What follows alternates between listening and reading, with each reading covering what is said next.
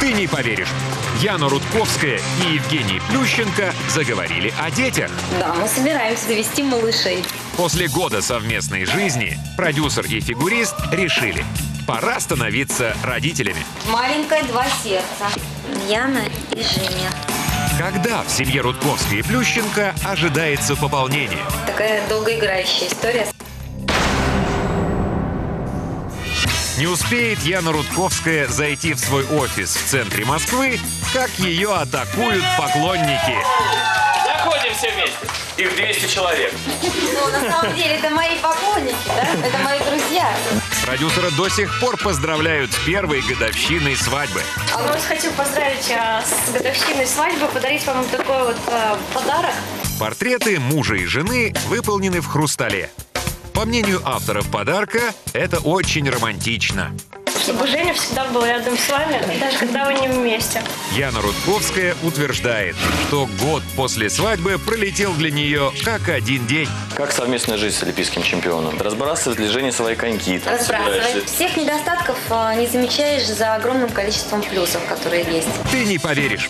После года совместной жизни спортсмен и продюсер всерьез задумались о детях. Сенсационное признание Яны Рудковской.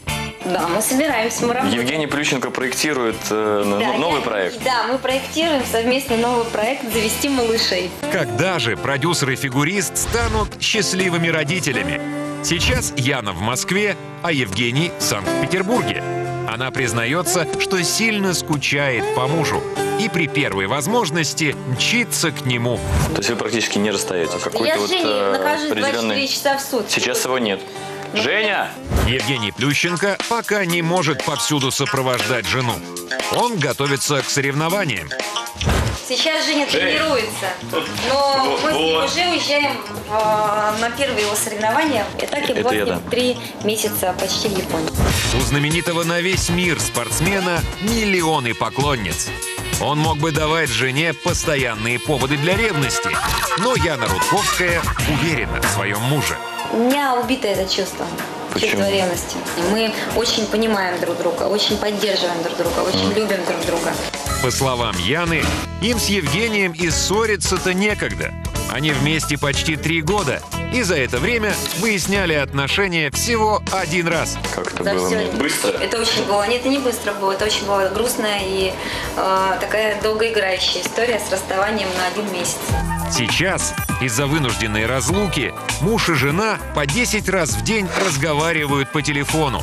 У тебя есть какие-то смс? Зайка моя, я по тебе скучаю, все хорошо. Да, от Жени? От Жени, да. Можешь Не, а он показать мне нам? звонит зачем? Не пишет ничего. А Женя вообще не пишет. Но от телефонных разговоров дети не рождаются. Когда же пара воплотит свою мечту о детях в реальность? Нулевой этап строительства уже прошли или, или, или нет? Ну, знаешь, на самом деле, вот давайте вот последние эти соревнования, которые такие очень важные, они хотя бы вот они пройдут. Соревнования у фигуриста закончатся в октябре. Если все пойдет по плану, то уже летом Яна Рудковская и Евгений Плющенко могут стать счастливыми родителями. Ну все, скажи, что ты счастлива, да. Я счастлива. Три-четыре. Ты